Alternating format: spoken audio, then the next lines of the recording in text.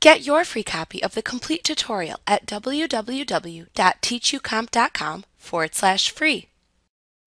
To view the Themes settings in Windows 11, open the Settings app window and then click the Personalization button at the left side of the screen to show the personalization settings for your computer to the right.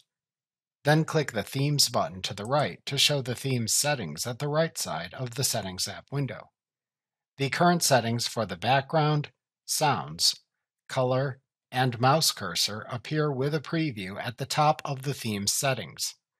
To save these current settings as a theme, click the Save button below these settings to open a Save Your Theme dialog box. Type the new theme name into the Name Your Theme field, and click the Save button to save it into the current theme list in the Themes Settings page. The name of the current theme appears in the current theme setting. To expand and collapse the list of available saved themes, click this button.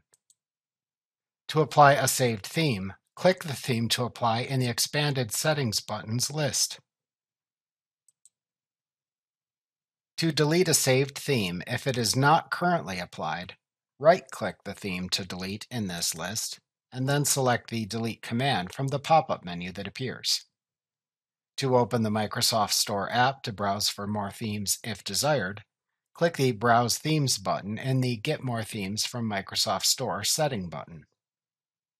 To change the desktop icons in Windows 11, click the Desktop Icon Settings button under the Related Settings section in the Themes Settings page to open the Desktop Icon Settings dialog box. To choose which desktop icons to show or hide, Check or uncheck the names of the icons in the Desktop Icons section of the dialog box. To manually change a desktop icon, click the desktop icon to change in the list shown. Click the Change Icon button below the list to open a Change Icon dialog box. Select the icon to use, and then click the OK button. To restore the default icons, click the Restore Default button below the list of icons. To let themes change the desktop icons, ensure the Allow Themes to Change Desktop Icons checkbox is checked. When finished changing your desktop icons, click the OK button. To close the Settings app window when finished, click the X button in its upper right corner.